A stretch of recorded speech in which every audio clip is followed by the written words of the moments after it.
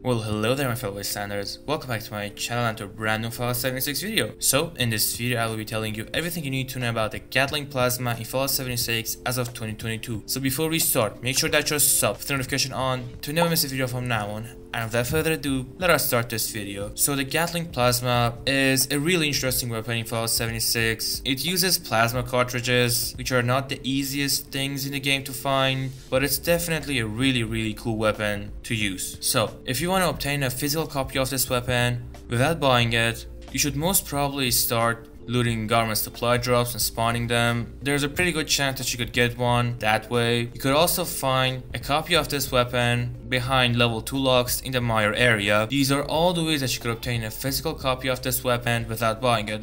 However, if you're looking to buy a physical copy of this weapon, you could buy one in the armory section of the Enclave's bunker.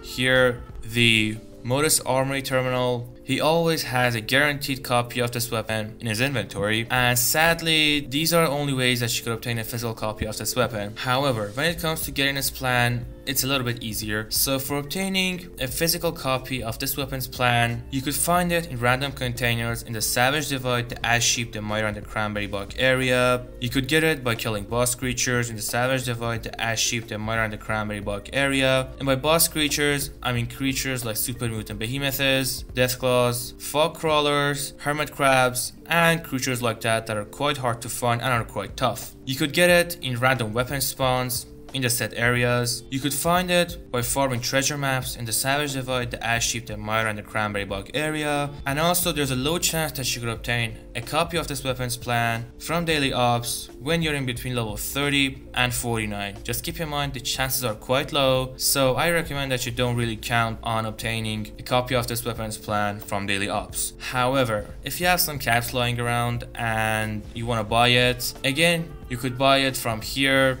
in the Enclave's bunker from the armory section, the Modus armory terminal. As you could see, he has a guaranteed copy of this weapons plan in his inventory. Just keep in mind it's extremely expensive. Personally, I farmed it, I didn't buy it, but if you feel like you have the caps to spare, then go for it. And these are pretty much all ways that you could obtain a copy of this weapon's plan. Now let us talk about this weapon's mods. So this weapon has 5 mods, which 4 of them are loose mods, meaning that you could get them by randomly scrapping this weapon over and over, or by doing enclave missions, or just randomly buy them from train stations.